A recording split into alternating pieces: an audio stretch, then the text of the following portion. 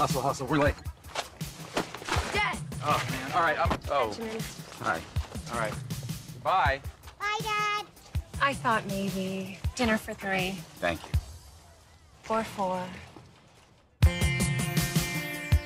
Hey, Rosie. Am I doing anything right?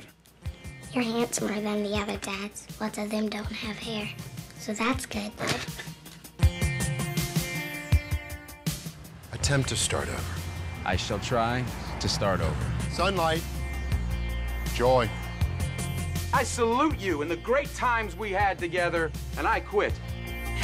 This is exactly what we've been looking for.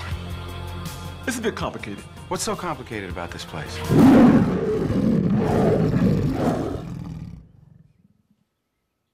It's a zoo.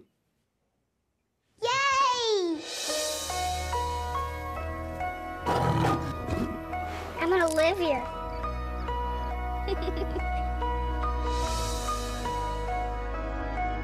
Welcome to your zoo. This is what you want. It's not what I want. At the risk of stating the obvious, you're insane. The sellers say you don't even need any special knowledge to run a zoo. What you need is a lot of heart. You are gonna love your new enclosure. We need somebody who can take charge of this place, or else we and all these animals are gone. I'm trying to give the kids an authentic American experience. Stop before zebras get involved. There's two zebras. There's a lion. There's 47 animal species. It'll never last. If you stick with me, I will give this everything. Well, that's good enough for me. I think you're incredibly pretty. Please don't take offense if I don't hit on you. Be offended if you did. Thank you. I think. I like the animals, but I love the humans.